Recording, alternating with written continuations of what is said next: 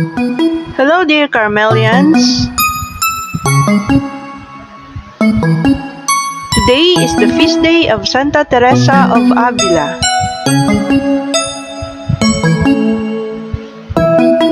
Join us as we journey with Santa Teresa of Avila today. In the name of the Father, and of the Son, and of the Holy Spirit. Amen.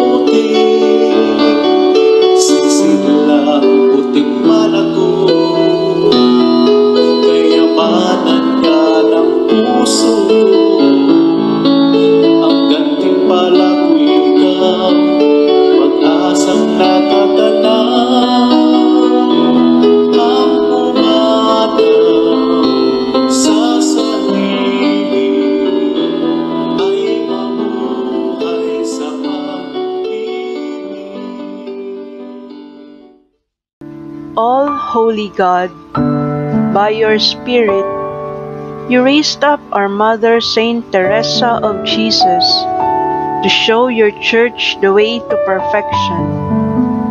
May her inspired teaching awaken in us a longing for true holiness. Grant this through our Lord Jesus Christ, your Son, who lives and reigns with you in the Holy Spirit, one God, forever and ever. Amen.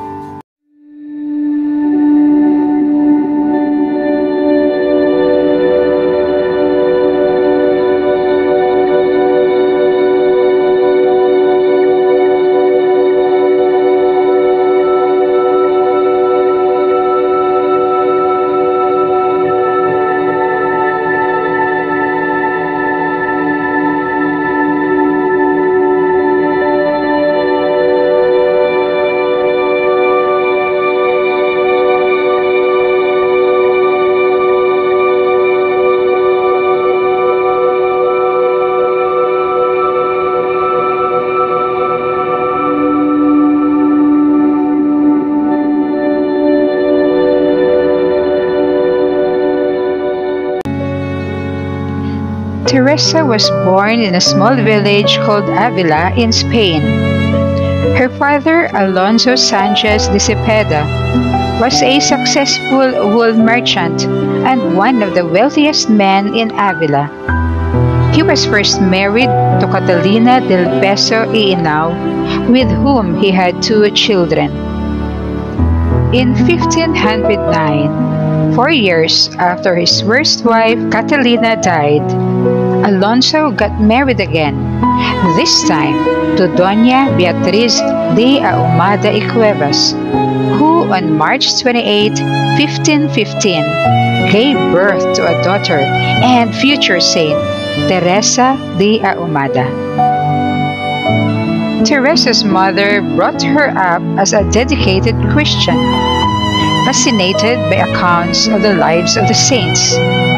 As a little girl, Teresa and her brother Rodrigo loved to read the books on the lives of the saints and martyrs.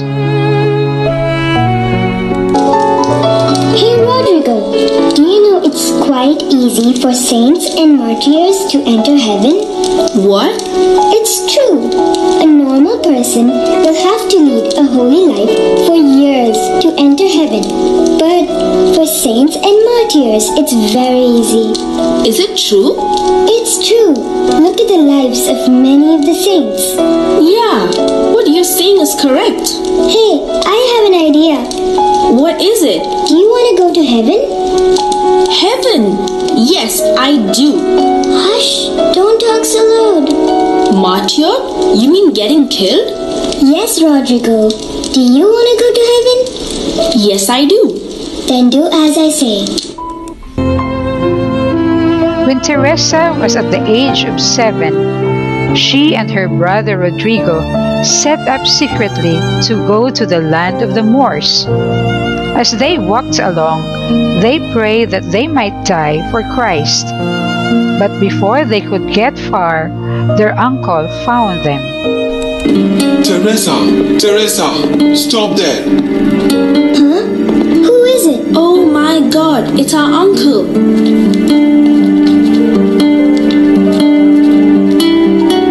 Hey, what are you guys doing up here?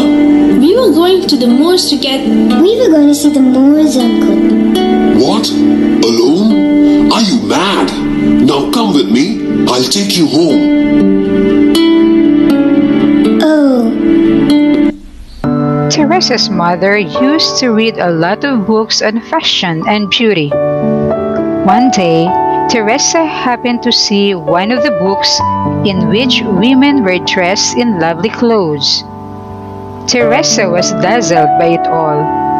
It seemed so attractive to her to be able to look pleasant and to feel loved by everyone.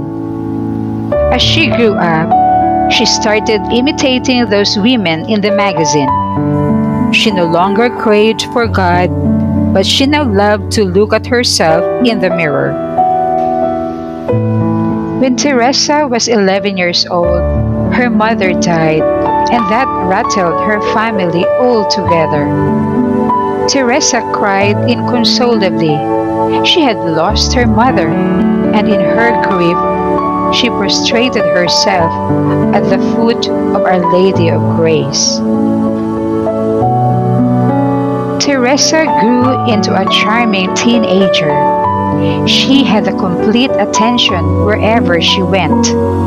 By the time she was 15, she was beautiful, witty, fond of clothes, jewelry, and perfumes. She had a habit of reading romantic novels with knights and fairies. One of her older cousins came to live with them for a few days, and she was fond of gossip and vanity. This older cousin influenced Teresa, and Teresa now set a town buzz with her gossips. This caused her father sleepless nights. Teresa's father decided that adult supervision was required for Teresa. Teresa was admitted to an Augustinian convent nearby. This place was like a finishing school where young women were taught social skills in things like cooking and embroidery. This period brought a change in Teresa, and she started enjoying her life at the convent. She found a good friend and a novice mistress who taught her piety and goodness. Tell me, sister, you are so beautiful. Haven't you received any proposals from young men? My dear child, my heart it belongs only to our Lord. So inspiring. This good companionship removed all the bad habits that Teresa had. Teresa slowly recovered her faith in the Lord. She started thinking about becoming a nun. By the influence of her devout uncle Peter, along with her reading of the letters of St. Jerome, Teresa was convinced that the surest way for salvation was to forsake marriage and other worldly pleasures. She decided to join the Carmelite order against the will of her father. But not long after she joined the order, she became very ill. She was brought home for treatment. She experienced severe pain and physical paralysis for almost two years. She was even expected to die when she went into a coma for four days. But she somehow recovered a little bit and insisted on returning to the monastery even though she remained in a painful and debilitated state. But Teresa, why so soon? You can't stay here for a few more weeks. And as you are better, I will take you to the monastery myself. No, Father. Uh, you don't understand. I have to go. During the next three years, Teresa made remarkable progress in her spiritual life. Through the intercession of Saint Joseph, she miraculously recovered her health.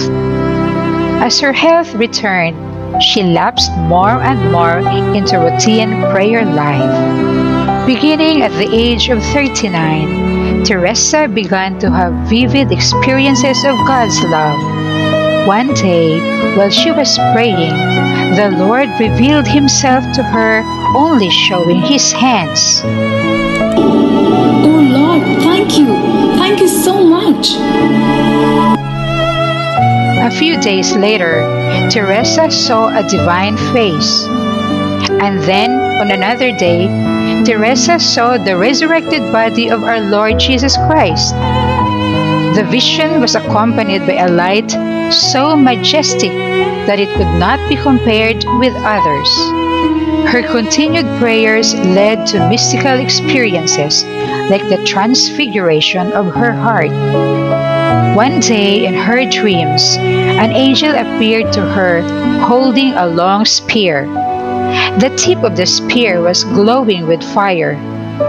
The angel pierced her heart several times, and when he drew the spear out, Teresa experienced a great change in her heart. She was now filled with great love for God. Teresa's work of reform began with herself. She was troubled by the worldly pleasures such as wealth and beauty. She was also disturbed by the steady stream of visitors to the convent's parlor. Such things distracted her from her prayer and kept her from God. She then decided to follow the Carmelite rule as perfectly as she could. But the prevailing atmosphere of the convent didn't help her. Mother Superior, I want to tell you something. What is it, sister? Mother, I find the atmosphere here very disturbing and I'm not able to concentrate properly during prayers. I I think our order has lost its way. What are you trying to say, sister? Are you saying that we are not following our rules properly? I I think the order has become too lax in practicing our rules. Huh? How dare you? I'm sorry, Mother Superior, but I'm going to leave this order. Leave this order?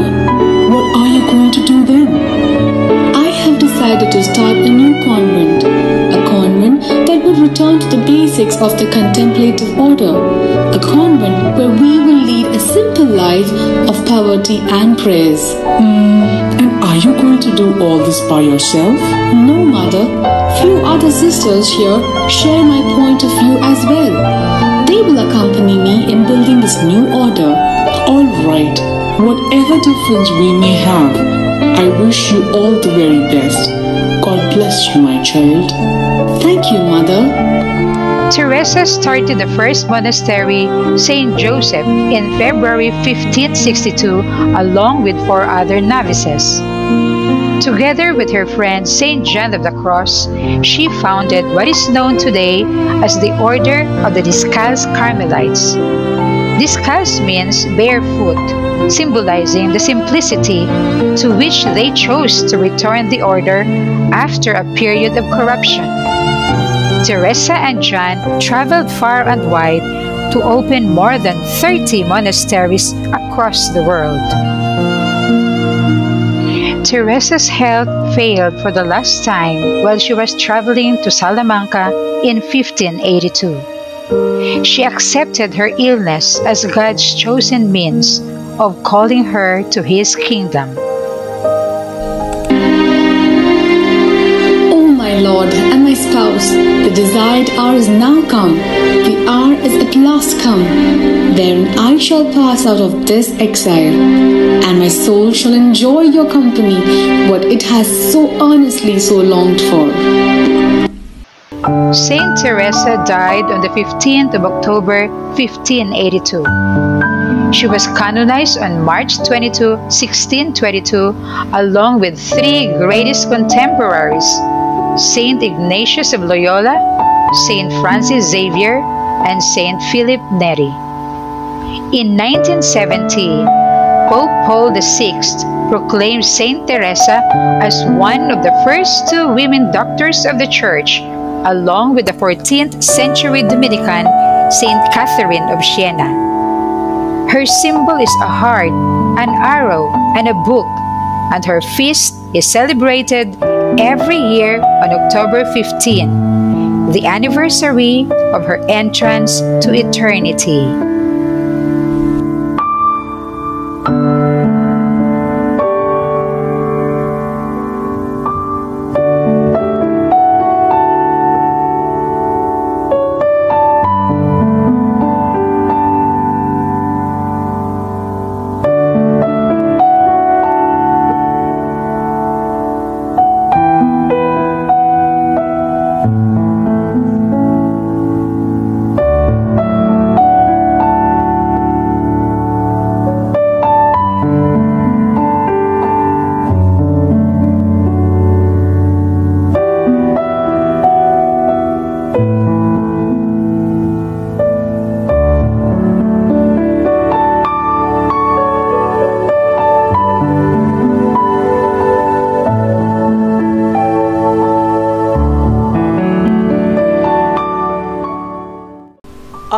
Father, who art in heaven, hallowed be thy name. Thy kingdom come, thy will be done on earth as it is in heaven. Give us this day our daily bread, and forgive us our trespasses, as we forgive those who trespass against us. And lead us not into temptation but deliver us from evil. Amen. Hail Mary, full of grace, the Lord is with you. Blessed are you among women, and blessed is the fruit of your womb, Jesus. Holy Mary, Mother of God, pray for us sinners, now and at the hour of our death. Amen. Hail Mary, full of grace, the Lord is with you. Blessed are you among women, and blessed is the fruit of your womb, Jesus. Holy Mary, Mother of God, pray for us sinners, now and at the hour of our death. Amen. Hail Mary, full of grace, the Lord is with you. Blessed are you among women, and blessed is the fruit of your womb, Jesus. Holy Mary, Mother of God, pray for us sinners, now and at the hour of our death. Amen. Glory to the Father, and to the Son, and to the Holy Spirit, as it was in the beginning, is now, and will be forever. Amen. God has given our Mother Saint Teresa to the Church to guide us on the way of prayer and recollection. May you be counted no longer servants but friends. The Lord has made her a teacher of loving self-sacrifice. May you also live generously in His service. God has made her model of fraternal charity. May you also be filled with love for your brothers and sisters. And may Almighty God bless us, the Father, the Son, and the Holy Spirit. Amen.